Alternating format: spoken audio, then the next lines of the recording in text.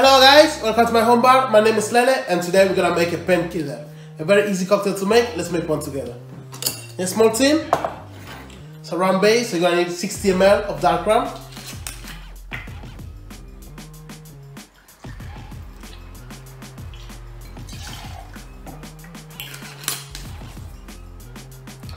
So you're gonna need a little dash of pineapple juice, gonna need 50 ml.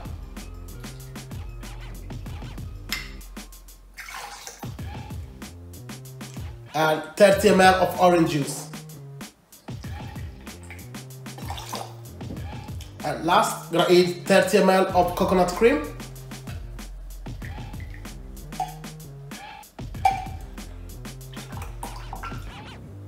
Okay, it's and drink, so I'm gonna grab a glass of ice cubes.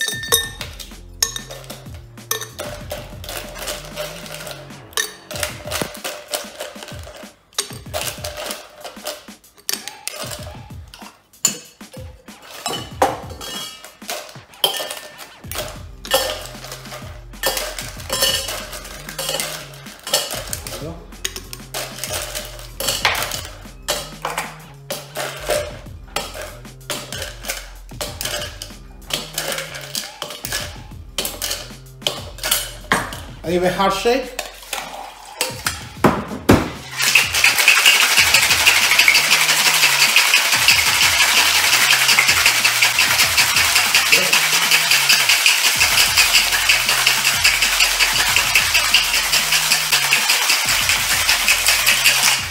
Okay.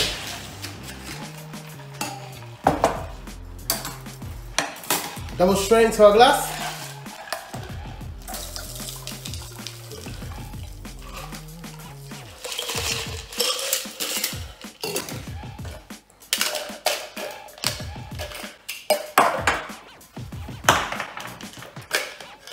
One last ice cube. One last ice cube. So garnish, orange slice. Enjoy drink, guys.